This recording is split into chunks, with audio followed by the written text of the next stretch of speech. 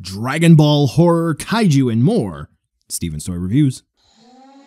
Awoo! Hey, collectors, it's going to be Steven here, and I am very excited to bring you a new YMSF review. And today we're going to be taking a look at the YMSF Wolfman. Now, this particular colorway is going to be a G Fest exclusive, and I am happy to get my hands on this. To be clear, this was offered at G Fest 2023 with some leftovers being available through a US retail partner.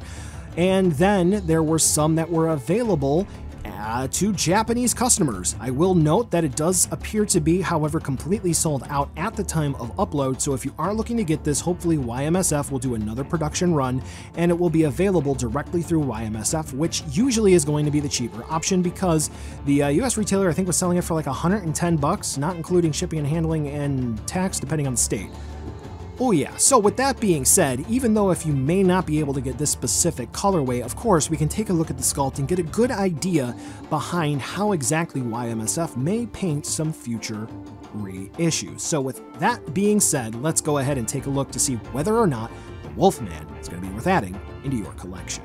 Alright, so taking a look at the figure in and of itself, I will say that the sculpt though there's not really much pertaining to the source material, uh, pretty simplistic, and that's not a knock against the figure. I mean, once again, uh, Wolfman is going to be something of a Godzilla legend for those of you who are not familiar.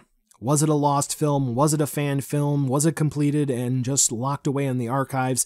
I'll let you go ahead and do the research, but pertaining to what is publicly available, it's mostly going to be very grainy stills. With that being said, the simplistic details are going to range for a nice rockin' six pack for the Wolfman, and the facial details, there's not going to be a paint application really whatsoever aside from a nice crimson dark red that is used here, almost to a burgundy color. So we don't really see anything beyond the sculpt for the eyes.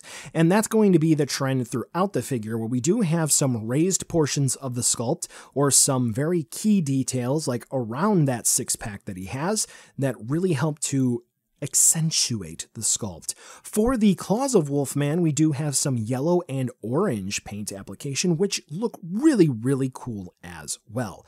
So beyond that, uh, does seem like, according to the bottom of the feet, at least if I were to hazard a guess, he is going to be cast in a white, very light gray vinyl. I guess the last thing to discuss is that it does appear that there's going to be a black wash to really give it the idea of fur. While simplistic, again, I say that Wolfman is effective, and I quite like it. For articulation, there really isn't much to write home about with a waist swivel, so you can sort of get Wolfman to turn left and right, and shoulder swivel so you can raise and lower his arms. I'm not quite sure if he can get a full spin around, uh, full 360 spin on the swivels, but nevertheless, uh, you don't really need to get that. That's totally fine.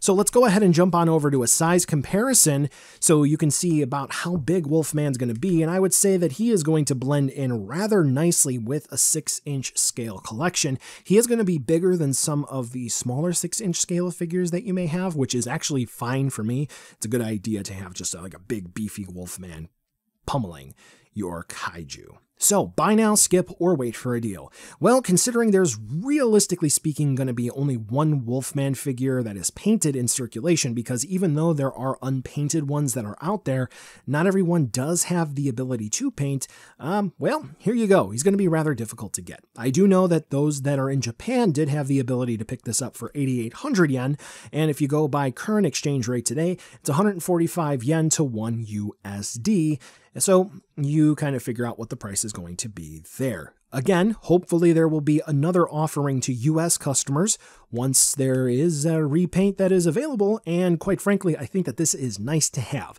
These obscure kaiju are great to have in the collection, and with more companies look to experiment with these sort of oddities, it's a great time to be collecting kaiju figures. Keep in mind this is going to be expensive, but YMSF sort of is a one-man army here, and he's making one-off things. So, thumbs up. Let's see more. Hey collectors, that's going to wrap up the video today, and as always, thanks for watching, commenting, sharing, subbing, it all helps.